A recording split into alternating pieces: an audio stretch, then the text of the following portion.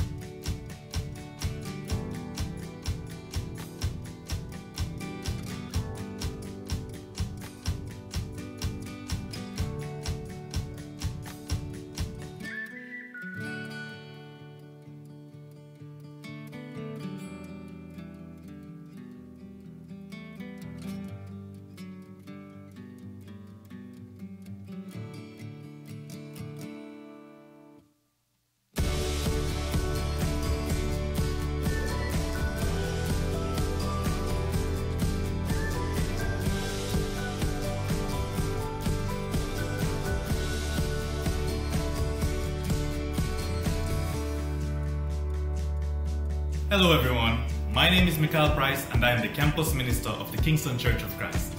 If you enjoy our videos and you haven't as yet, please subscribe to our channel and click the bell. This will allow YouTube to send you notifications each time we upload something new.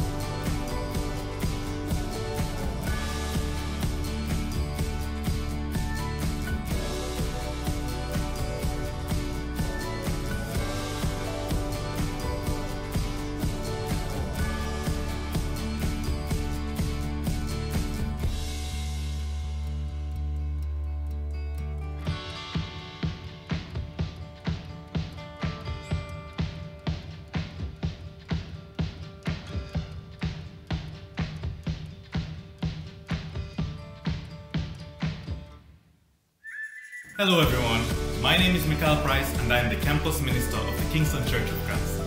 If you enjoy our videos and you haven't as yet, please subscribe to our channel and click the bell. This will allow YouTube to send you notifications each time we upload something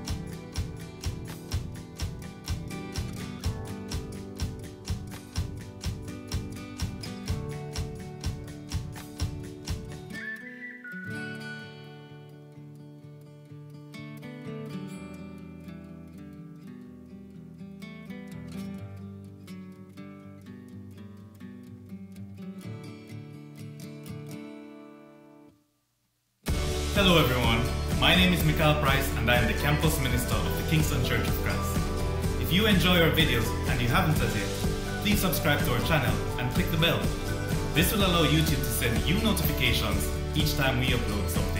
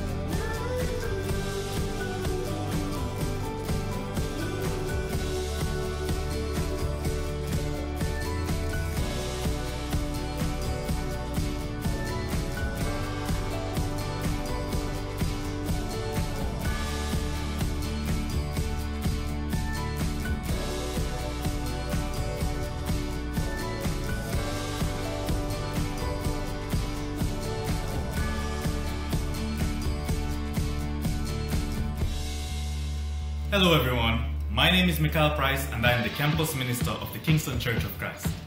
If you enjoy our videos and you haven't as yet, please subscribe to our channel and click the bell. This will allow YouTube to send you notifications each time we upload something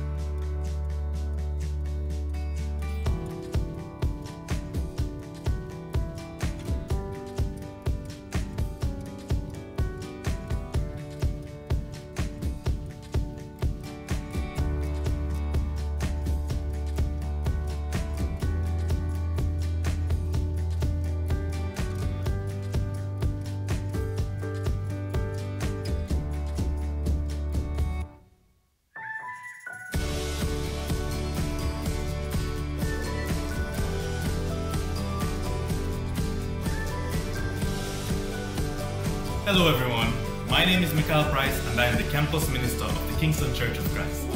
If you enjoy our videos and you haven't as yet, please subscribe to our channel and click the bell. This will allow YouTube to send you notifications each time we upload something new.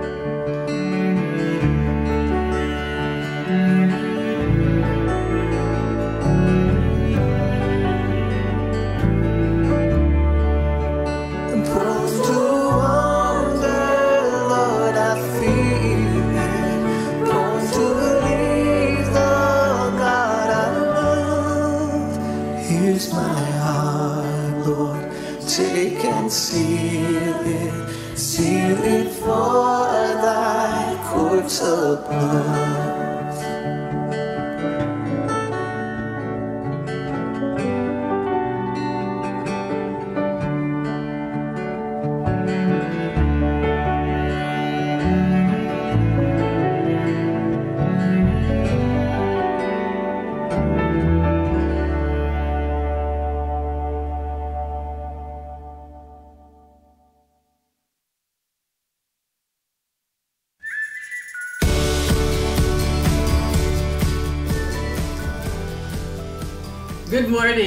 Glad you could join us here at the Kingston Church of Christ for our worship service. Welcome. It is really good to have you. I know that you long to be able to be together and connect, and we are hoping for that day. And you perhaps feel like you are in a wilderness. You don't need to worry. God works in wildernesses too. In Mark chapter 1, we are able to see about the ministry of John the Baptist and where it took place, a very odd location. It says in verse 1 the beginning of the good news about Jesus the Messiah, the Son of God. As it is written in Isaiah the prophet, I will send my messenger ahead of you, who will prepare your way, a voice of one calling in the wilderness, prepare the way for the Lord, make straight paths for him.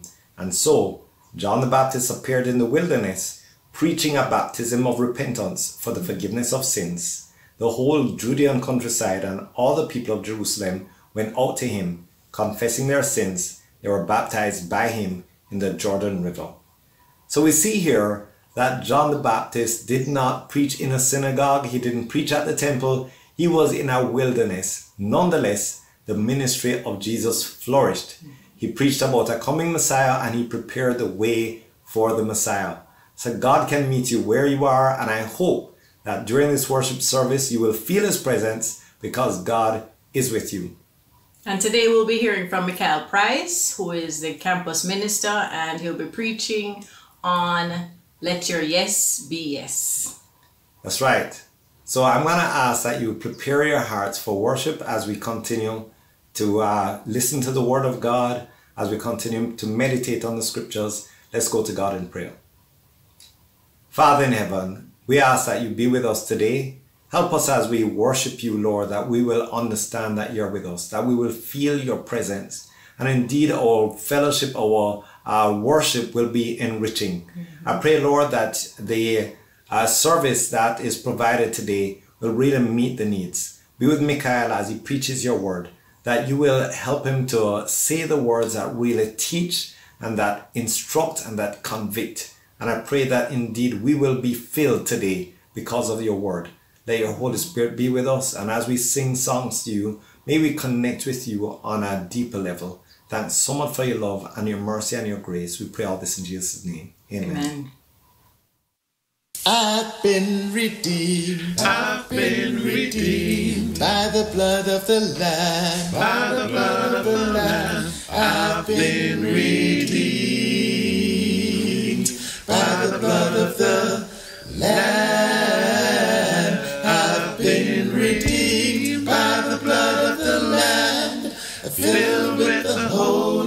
Ghost I am. All my sins are washed away. I've been redeemed. Well, I went down, when I went down to the river to pray, to the river to pray. When I went down to the river to pray.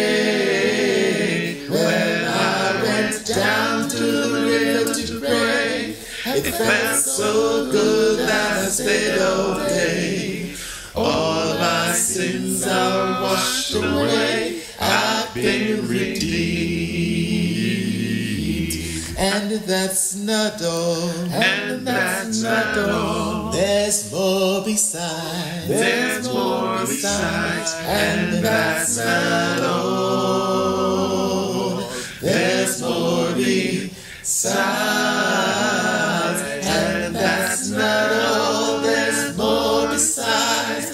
I've been to the river and I've been baptized. All my sins are washed away. I've been redeemed.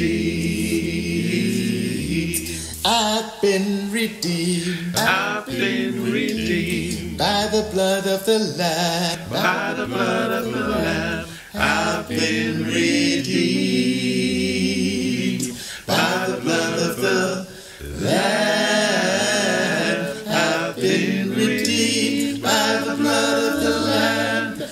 Filled with the Holy Ghost I am. All my sins are washed away. I've been redeemed. All my sins are washed away. I've been redeemed. All my sins are washed away. I've been redeemed.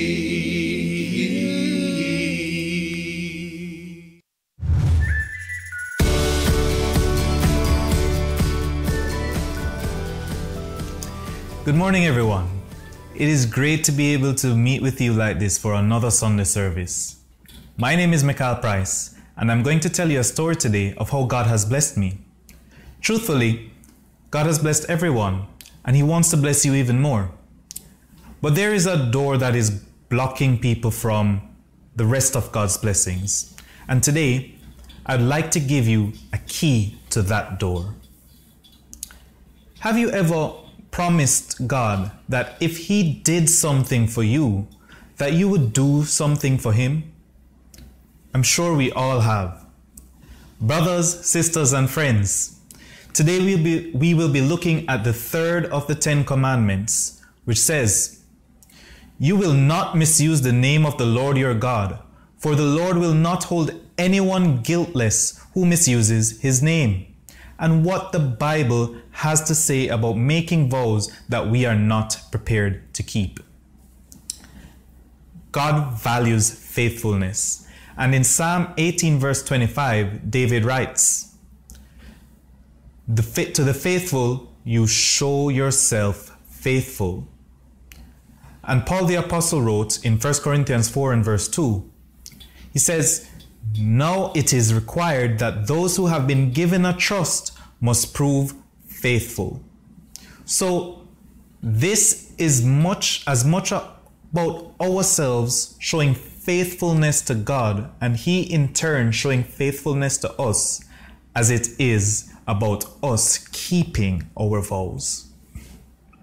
Let us look at Matthew 5 verses 33 to 37 and I will read from the NIV. It says, Again, you have heard that it was said to the people long ago, Do not break your oath, but fulfill to the Lord the vows you have made.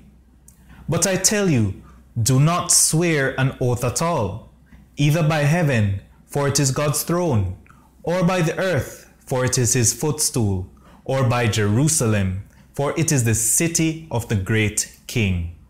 And do not swear by your head, for you cannot make even one hair white or black. All you need to say is simply yes or no. Anything beyond, beyond anything beyond this comes from the evil one. We see that Jesus, in full knowledge and understanding of the commandments and of Scripture, instructing his hearers, do not swear an oath at all. This protects us from calling the Lord's name in vain, which is to do so for flippant reasons or irreverently. And we find that there, the practice of the religious Jews at the time was to make vows. They would make vows by certain holy objects, but according to Marty Solomon from his podcast, BEMA Discipleship, the person making the vow could change the vow if he swore by something else. For example, if he swore by the altar, he could change his vow if he swore by the sacrifice of the altar. People have a knack for changing something that was meant to be good into something that is now evil. Take, for instance, the act of crossing our fingers. According to Sarah Colin, in her article, the surprising history behind the double meaning of crossing our fingers, she writes Crossing your fingers originally meant you wanted God's protection and not just good luck. Christians would cross their fingers at the mention of any major threat. This could be sickness, Satan, misfortune, witchcraft, and more. It is only with time that the meaning behind this symbol has lost its seriousness. For example, the 14th century Christians would probably find it a little dramatic that you crossed your fingers to ensure that your favorite sports team won. But she indicates that people also cross their fingers while lying. She adds, why we cross our fingers while telling a lie has even murkier origins. But many believe this has to do with God too. Where crossing your fingers for luck is a way to ask for God's protection, crossing your fingers behind your back when you tell a lie could mean you're asking for God's forgiveness. So, there are people who feel that their word is not their bond if they had their fingers crossed behind their backs when they said it. In the same way, religious Jews found ways to get out of keeping their vows even when they swore by the temple. Jesus taught us that we need to keep our word and not to swear at all. If we are people of our word, then we would not need to swear. Satan wants to twist something good into something evil. And it, Jesus says that anything beyond a yes has come from Satan. He is a father of lies and wants to make the children of God out to be liars. He wants to make us look like we have no integrity. So do not give him an opportunity. Follow the instructions of Jesus and simply let your yes be yes and your no be no. One of my points is that we should think before we commit. In verses 34 to 36, we see the caution against making oaths. It says, But I tell you, do not swear an oath at all, either by heaven, for it is God's throne, or by the earth, for it is his footstool, or by Jerusalem, for it is the city of the great king. And do not swear by your head, for you cannot make even one hair white or black we can compare what is said in verses 34 of Matthew 5 to what is said in Ecclesiastes 5 and verse 5, which says, It is better to not make a vow than to make one and not fulfill it.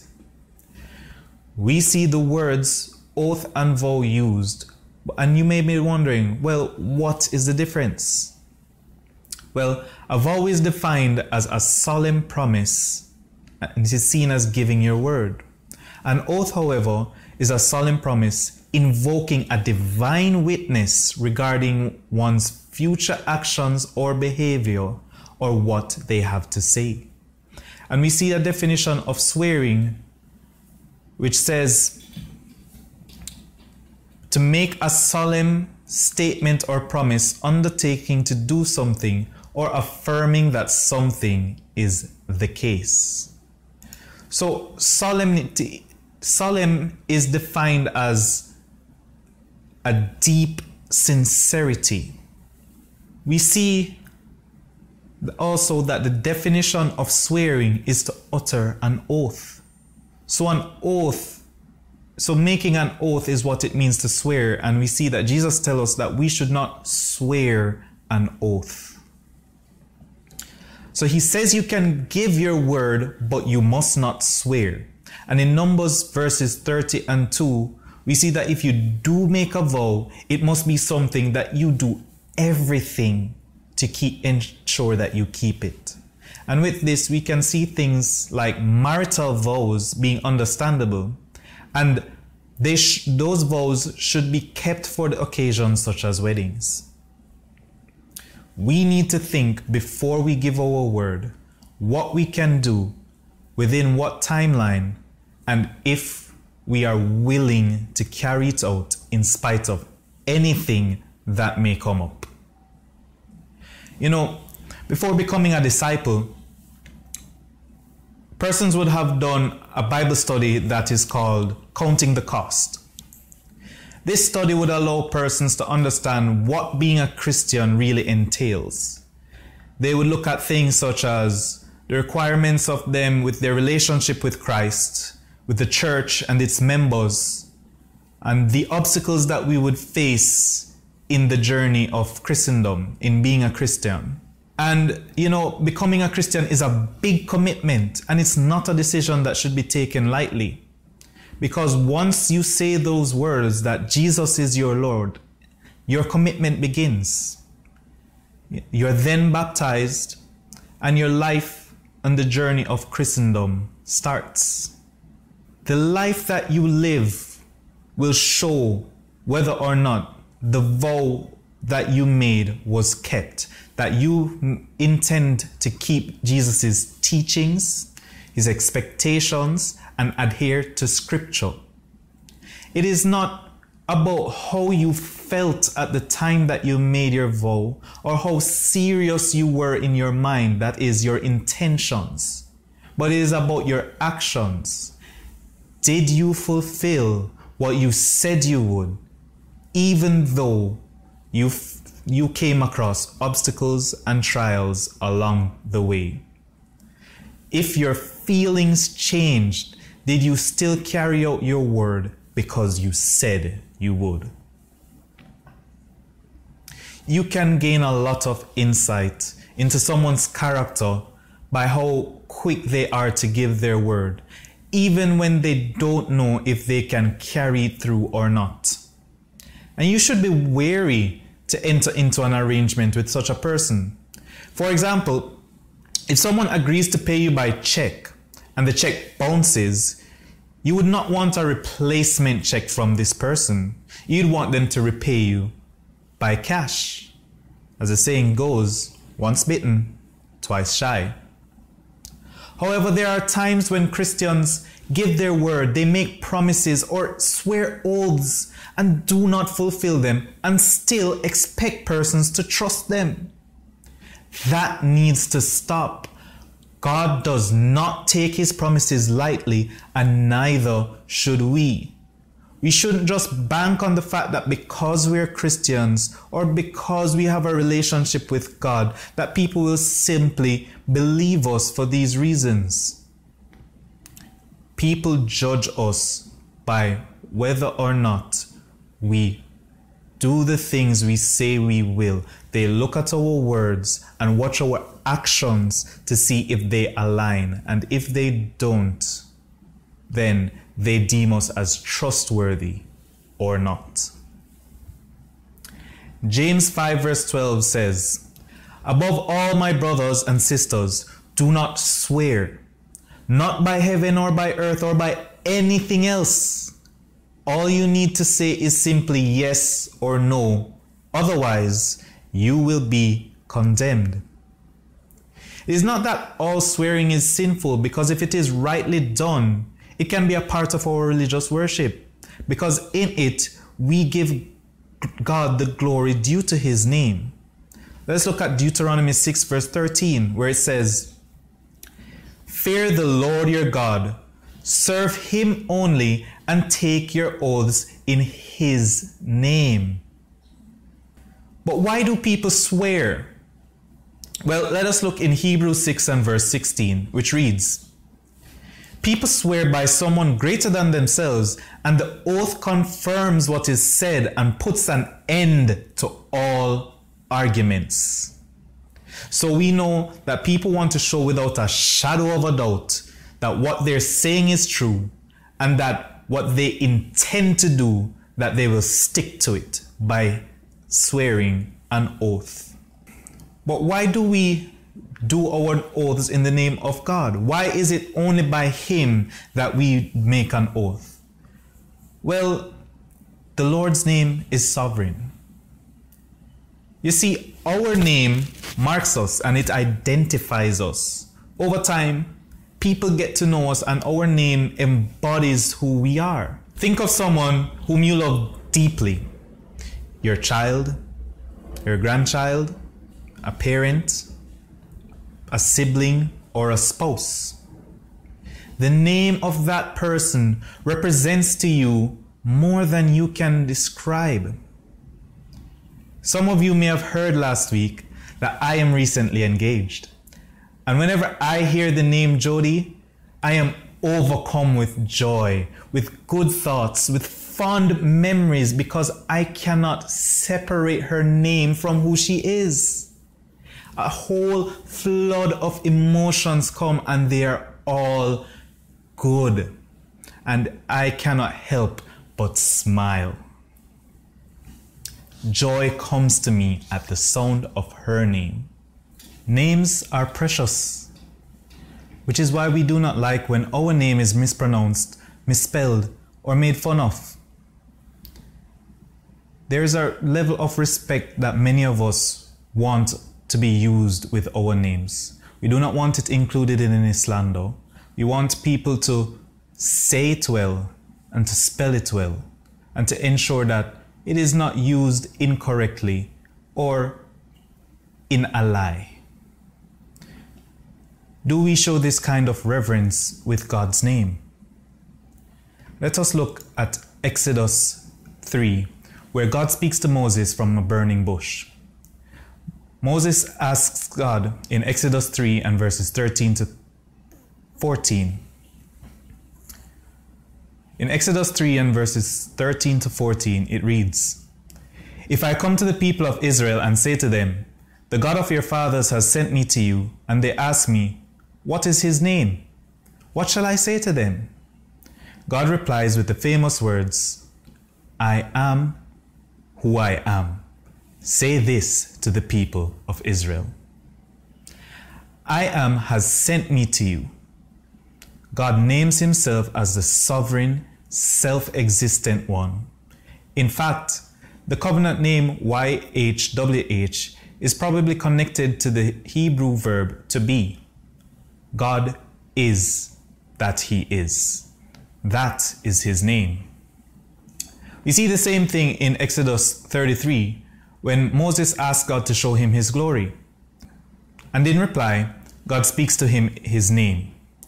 I will make all my goodness pass before you and will proclaim before you my name, the Lord.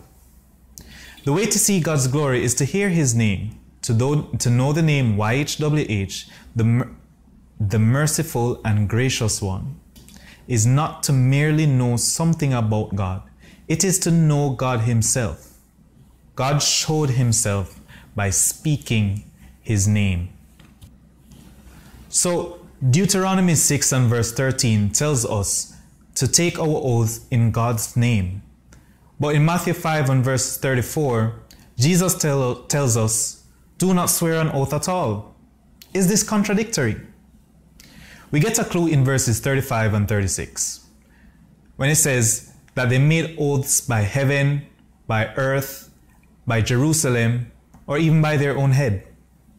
It was not uncommon for people to make hasty promises which were backed by items in the temple, all kinds of things. It was not uncommon for people to make all hasty promises that were backed by all kinds of things, including foreign gods. A promise, see, a promise was only seen as good as what it was backed by. For example, if I told you that I would give you a million dollars and you know that I'm broke, then my word has no meaning to you. But if I tell you that I'm going to give you a million dollars and I swear by my father who is a millionaire, then my word may have some meaning. Thing though, the scripture says that we should only take our oaths in God's name. But Jesus says not to swear an oath at all. So what do we do? Well, we do as he says in verses 37. All you need to say is simply yes or no. Anything beyond this comes from the evil one. Who would willingly take a gift from Satan or quote his words? No one. But many people inadvertently do it. Anything beyond yes or no are possibly and in all likelihood words that Satan has given you to say. For example, in the book of Acts, an account is given of a married couple who lied to the apostles. Let us look at Acts 5 and verse 13. Ananias, how is it that Satan has so filled your heart that you have lied to the Holy Spirit? Ananias thought that the plan to deceive Peter and the words that he used came from himself. But Peter pointed out that they in fact came from Satan, who filled his heart. We have to be careful of what we say. Vows that are made without a proper plan or a desire to fulfill them come from the corruption of men's natures. It comes from pride and dishonesty. There is a thought that all men are liars, they cannot be trusted, and so, because men cannot believe what the other have to say, it is thought that unless they swear upon some holy sacrament or upon God's name it's itself, then the words that come out of their mouth or the promise that they've made cannot be trusted. Christians, to the credit of the Lord, should avoid all things that are evil. And this means that we are to also avoid the appearance of evil things. So let us say nothing more than what we mean and mean everything that we say. In Psalm 15, reading from verses 1 to 5, it reads Lord, who may dwell in your sacred tent? Who may live in your holy, on your holy mountain? The one whose walk is blameless, who does what is righteous, who speaks the truth from their heart, whose tongue utters no slander, who does no wrong to a neighbor and casts no slur on others, who despises a vile person but honors those who fear the Lord, who keeps an oath even when it hurts and does not change their mind, who lends money to the poor without interest, who does not accept a bribe against the innocent. Whoever does these things will never be shaken. So we see that it is accredited to our righteousness, keeping an oath even when it hurts and not changing our minds. Our walk is considered blameless. This kind of integrity, this kind of resolve, this unwavering mindset, we see all of this in Jesus when he died at the cross. He said, Lord, if it is your will, then let your will be done. And he meant it, as we saw in his, in his actions when he gave himself to be crucified so that we may have a chance at salvation. Speaking of giving my word, some of you know that I oversee the productions for the services that we have on, on Sundays and on Wednesdays. When I accepted the responsibility, I did it with joy I thought of it as a great honor, and I still do, to be able to serve God in this way, to help to get His message out. And I thought it would be easy because I would be surrounded by talented individuals who have a heart to serve God and will go above and beyond to ensure that what we do is excellent and that God is honored by what by what we produce. Now, I wasn't wrong. I am surrounded by talented individuals who do go above and beyond to serve God because it is their desire to do so. They have a very strong conviction about it. What I was wrong about is that how easy it would be. Working with people, help going with the technical aspect of things. I thought it would be simply giving gentle reminders for the persons that get do the different parts of service so that we could get them, put them together, and have them ready to be shown for Sunday morning. But as obstacles come up, as issues arise that are beyond our control, it become it became more and more difficult to meet the kind of timeline that we envisioned because we had an we have an ideal timeline of how things work. And for the most part, everything is done within that time frame. But whenever things occur that throw us out of the loop, it makes me wonder if accepting this was the right thing to do because it becomes so difficult to keep up with this and my other responsibilities. Now, I struggled with this for a time, and in my quiet time, I came upon this verse in Matthew 5, which says, Simply let your yes be yes, and I was convicted by it. I gave my word that I would be responsible for whatever happens. I gave my word. It was not asked of me to do so. What they did was present an opportunity and tell me what obstacles I may face in ensuring that the work is complete. I accepted. And because I gave my word, I'm being convicted by this scripture in Matthew 5. I, th- I thought that it would be to the glory of God to ensure that I do what I said I would do, that I fulfilled my word, that my yes be yes, no matter what that meant. I had an idea of what I was getting myself into, and I said yes. So, in order to be a, a man of integrity, I have to follow through on my word. It is a position that I have put myself in because I said yes. If I was to give any advice based on my experiences, it would be this Good intentions can sometimes get you in trouble. There are times that we want to serve because we want to help, but we are not always realistic about what it is that we can do. And I would say that we need to think before we commit. We need to see, see whether it is within our abilities to, to, to carry out what we're saying yes to. That anything that we give our word to, that we mean it, that it is to our knowledge true. It will not be easy every step of the way. And the feelings may change. Initially, when you say yes to something, you may feel great about it, and along the way, the difficulty of it, or even other factors outside of what you've agreed to, may come and make you feel that, boy, this is now burdensome. What was once a joy is now burdensome. What was once thought as to be easy is proving difficult. But we need to not be swayed. As the scripture said in Psalm 15, even when it hurts, and it may hurt in different ways, but we should follow through on it.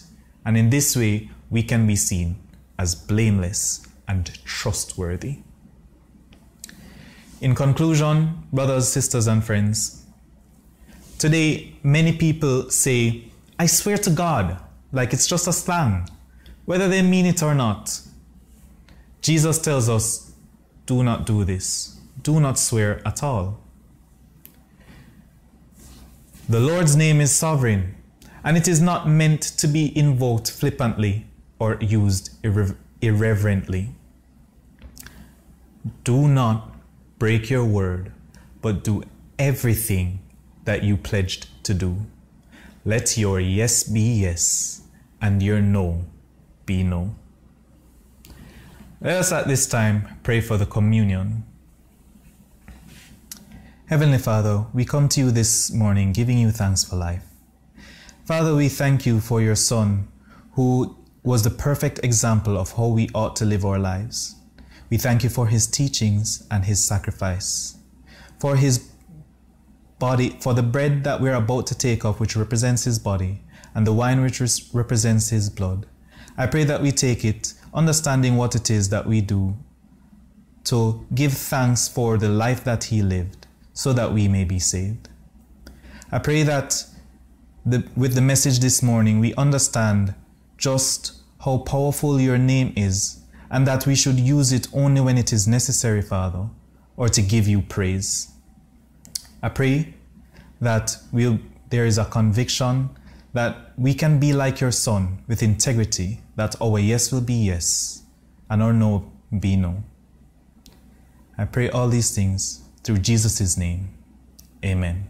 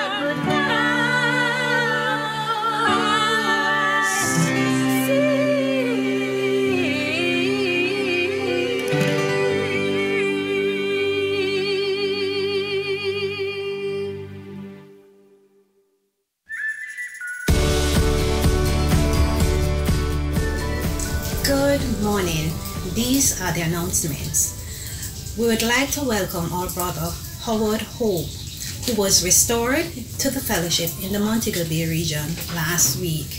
He's the husband of Tanisha Hope. Midweek service, the final lesson of the midweek devotion series on the fruit of the Spirit will be on self control and will be delivered by Brian and Michelle Santos, who are well known by most of us here in Jamaica. The Zoom link will be sent before 7:30 p.m. service. Marriage devotion. The last session of Marriage on the Rocks workshop will be held this Thursday online at 7 p.m. Please remember to do your homework and join early to properly prepare for the class. Teams and campus devotion. The Zoom links will be sent for the team devotion this Friday starting at 5 p.m. and the campus devotion which will start at 6 p.m. Options for sending your offering. Card transaction can be done at the church office. You may visit the church office on Mondays, Tuesdays, Fridays between the hour of 9 a.m. to 5 p.m. Deposits can also be made to the church bank account and also online banking transfer. Please call the office at 876 920 4220 for banking details. Then call or email the details of the deposit after it is made. For US contribution, use the address paypal.me slash KCOCINJA. Children's Ministry classes online. The first children ministry class on Sunday will be for the 2 to 4 age group, which will begins at 9 a.m. The 5 to 7 age group will be at 9:30 a.m., followed by the 8 to 9 class, which will be at 11 a.m. The preteens will start at 12 noon. Next Sunday's service, join us here online for the next Sunday worship service starting at 10 a.m. Our speaker will be Gregory Fall. Thank you.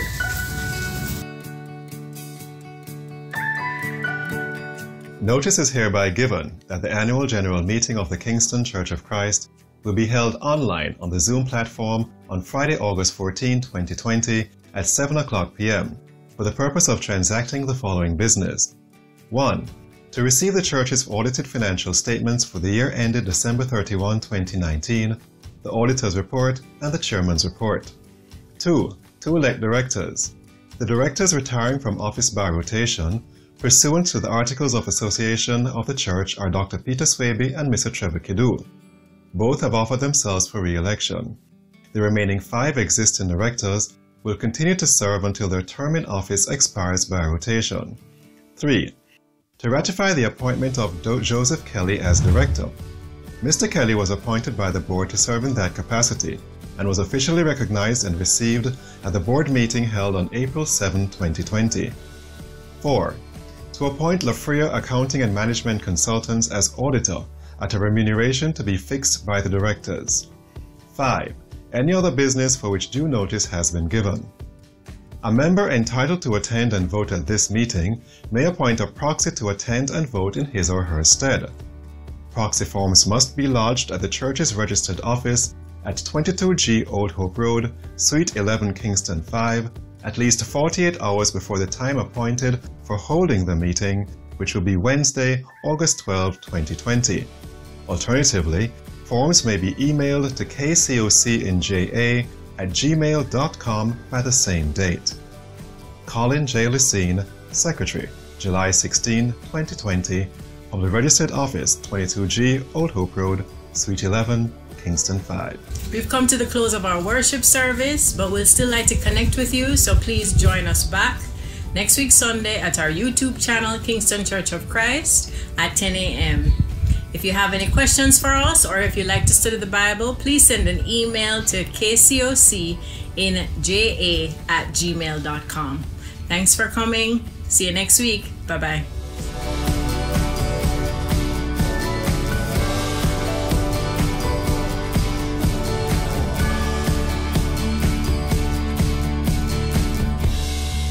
Hello everyone, my name is Mikhail Price and I am the campus minister of the Kingston Church of Christ.